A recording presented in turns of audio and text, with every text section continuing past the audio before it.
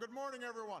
During Barack Obama's speech at 2012 AIPAC Policy Conference at the Washington Convention Center, the camera spotted a very odd individual, who may be either with the US Secret Service, or with the Israels, and could be a strong evidence of a shapeshifter alien humanoid working for the powers that be, caught in a high definition video during an event of the Zionist cabal. And a tireless advocate.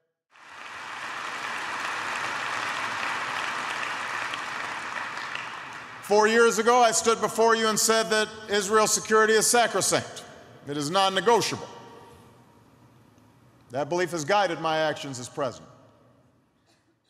Even though at first sight he looks just like the average Secret Service spook, a series of odd features on his head, face, plus a very strange behavior and creepy movements, suggest something else.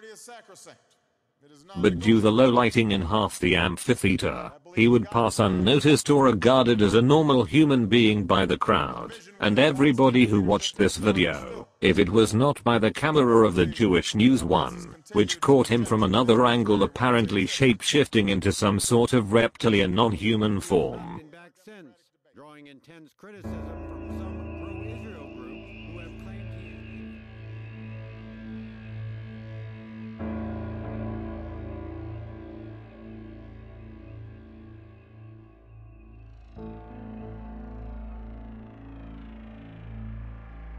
Disregard all the distortions and image artifacts caused by post-edition zooming, and pay close attention to how his head features suddenly change.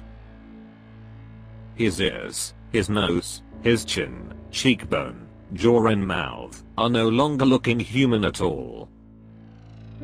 Matter of fact now he has a blatant non-human face, so what just happened?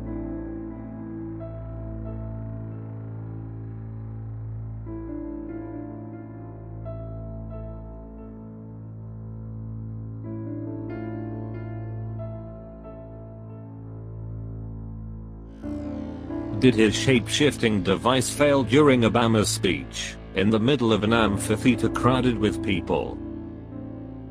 Is he an actual reptilian humanoid? Is he one of the Anunnaki? Is he a tall grey bio-android, or what? Is that video evidence that the Illuminati elite is in bed with at least one ancient extraterrestrial race, hidden in plain sight, and pulling the strings of mankind?